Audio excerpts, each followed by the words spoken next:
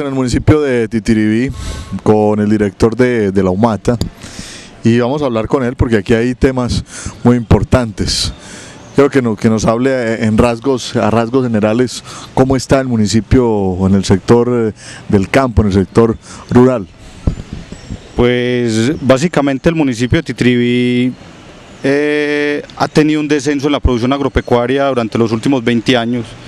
Como sabemos, la crisis cafetera, eh, también los costos prestacionales que tienen en muchos sistemas productivos, por ejemplo de caña, también ocasionó que se redujeran las áreas sembradas en agricultura.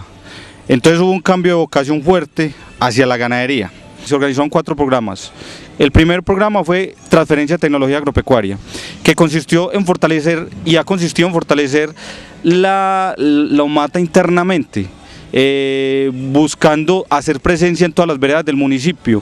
Y en ese programa, aledañamente a ese programa, se está trabajando mucho con el pequeño productor, alguna parte en, seguridad alimentaria, se, se, está trabajando mucho con parcelas productivas y en ese programa todos los proyectos que vienen de seguridad alimentaria, por ejemplo, en estos días se va a comenzar uno con de la FAO, eh, uno con asociado a la, gobernación y Maná y la FAO, ese, ese, ese, ese proyecto va a entrar dentro de ese programa a trabajar, a trabajar ahí.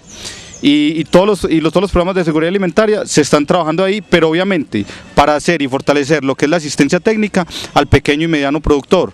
Otro que estamos implementando ese programa es nos estamos trayendo entidades de muy, de muy importante para nosotros como el SENA.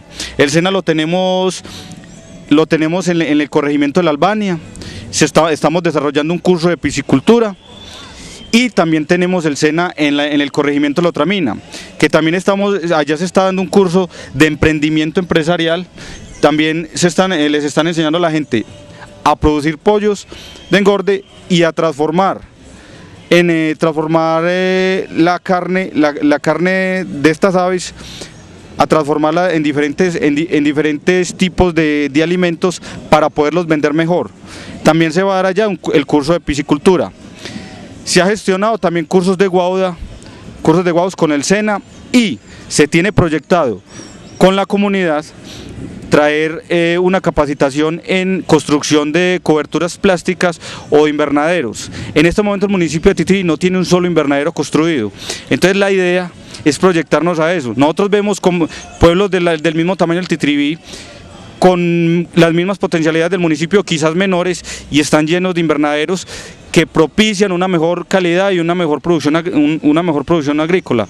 Entonces, y una producción agrícola durante todo el año, porque con las coberturas la, la, incidencia de las enfermedades son menores, debido a que la humedad relativa disminuye el interior de los invernaderos.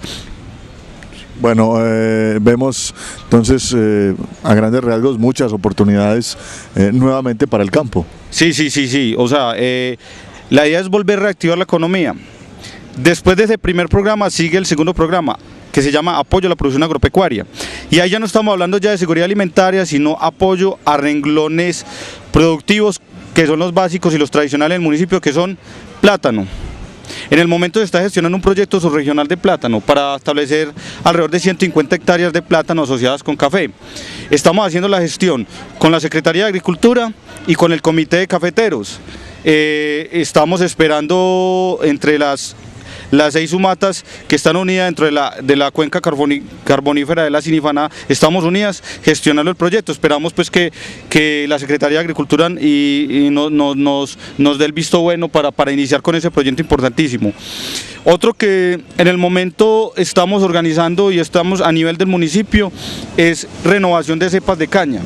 La idea es presentar la propuesta de renovar, de renovar 30 hectáreas de caña. En estos momentos está organizado el costeo, falta pues terminar la formulación del proyecto.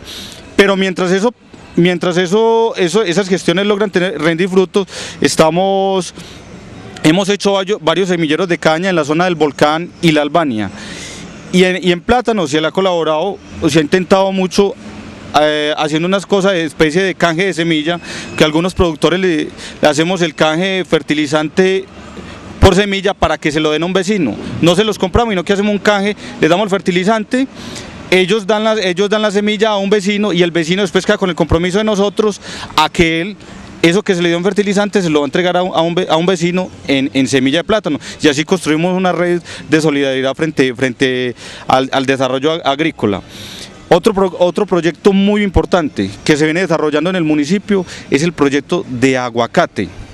El proyecto de aguacate ha tenido un sinnúmero de dificultades, muchos problemas, pero a pesar de eso eh, vamos, vamos, vamos bien. Es un cultivo no tradicional en el municipio. O sea, eh, nosotros no, teníamos ninguna hectárea de, de aguacate injerto en el municipio.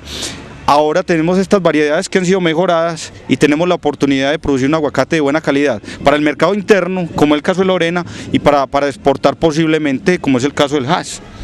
Bueno, sumamente importante todos estos proyectos que desde la UMATA se vienen realizando acá en el municipio de Titiribí. A ti muchas gracias pues por, por contarnos apartes eh, de lo que se está realizando en el sector agropecuario en el municipio porque vamos a continuar con nuestro programa con otro invitado y con él pues vamos a abordar otros eh, temas y algunos de ellos vamos a profundizar en algunos de los que hemos ya tocado en este nuestro programa.